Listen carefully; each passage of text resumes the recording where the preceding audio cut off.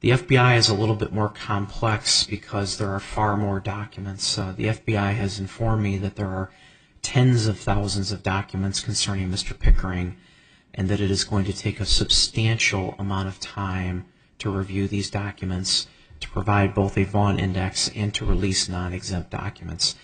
Uh, the FBI has told me that in order for it to review all of these documents for all of the applicable exemptions under FOIA, it could take as long as three years.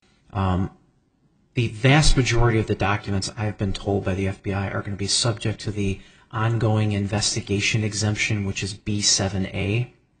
What I've been informed by the FBI is that they are still awaiting a few files to come back to the central office.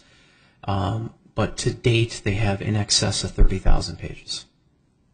Well, with respect to Mr. Pickering, uh, he was associated purportedly with the Earth Liberation Front media office, and that was the reason he became the uh, subject of an FBI probe. Now, ELF is... What was that again? The Earth Liberation Front, or ELF, E-L-F for short. Front media office? Yes. What is that? A press office. And they would get these communiques. Why was the Earth Liberation Front even a subject of FBI investigation? Your Honor, it was an eco-terrorism group that was operating in the largely in the Pacific Northwest in the early 2000s, as I recall. Eco? Eco-terrorism. What's eco-terrorism? They were like, as I recall, they were at least charged with being responsible for burning down housing developments. They were and they were arguing that excessive development was harming the environment, as I recall.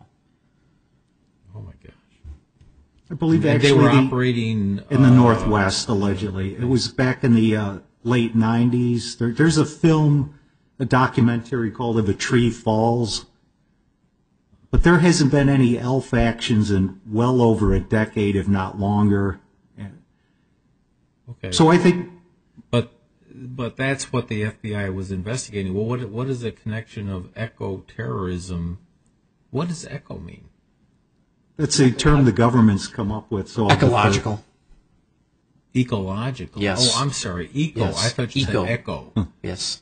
Eco. I'm Yes. sorry. Okay. That would be ECO, perhaps? Yes. ECO. I apologize. Yes, no problem. Eco-terrorism. Okay. Um, that's just a generic term that they uh, to describe the nature of the uh, alleged unlawful activity that they're investigating. Okay. So that's a form of criminal conduct. Yes. Well, what does the Earth Liberation Front have to do with eco-terrorism in the Northwest in terms of burning down you know developments? They were the perpetrators. On the face of the name. They were the perpetrators. Earth Liberation. Oh, oh they were the perpetrators. This was Well, it's been alleged by the uh, government. It's a group who were the perpetrators. Oh, I see. Of eco-terrorism. I see. Yes. Okay. And Mr. Pickering was alleged to have been the spokesperson for ELF during that period of time. And as I recall, I think he was even on 60 Minutes and interviewed. Oh. Oh.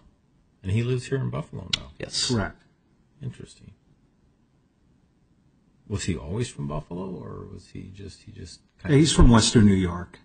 Originally? Correct. Oh, okay.